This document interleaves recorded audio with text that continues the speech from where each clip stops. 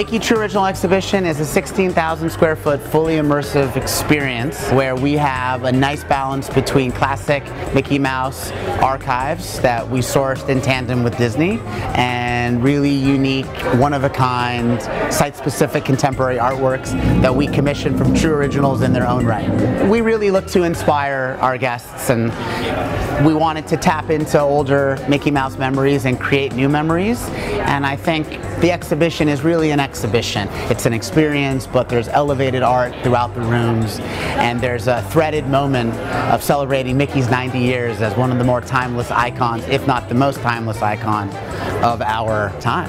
When they come into their exhibit, they're first going to see this neon wall and their mouth's going to drop. And there's so many fun surprises and also hid several hidden Mickeys in the museum, which will be a fun thing to look for. One of the things I worked on was the Steamboat Willie Redux.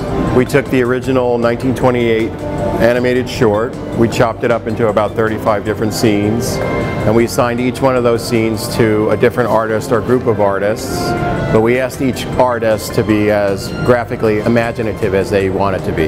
At this exhibit, I crocheted a huge mural, all made of yarn, it's about 20 feet by 10 feet tall and it's inspired by color and Mickey being created in color in the cartoon Bandstand. Mickey to me is just a classic. He's iconic, he's brave, he's fun, he's powerful, he means so much and I can't believe in each room how much thought, how much time, how much has just been put into it, making this experience so much bigger than I ever could have dreamed of.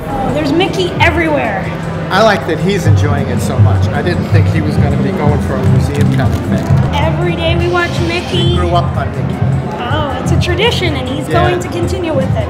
He makes you like laugh. He's like a happy character. He's positive.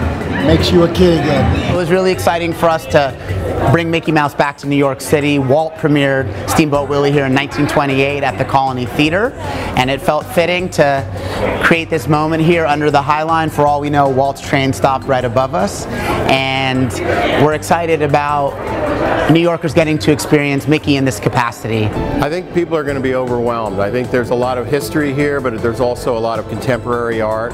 There's a whole room filled with archival product. There's Disney art. I think it brings the whole culture together. We all have to say happy anniversary for Mickey. He's 90 years old. Happy 90th, Mickey. Happy birthday, Mickey. Happy birthday, Mickey. Happy 90th, Mickey. Happy birthday, Mickey! So please come, and I hope you enjoy the exhibition. Happy anniversary, Mickey.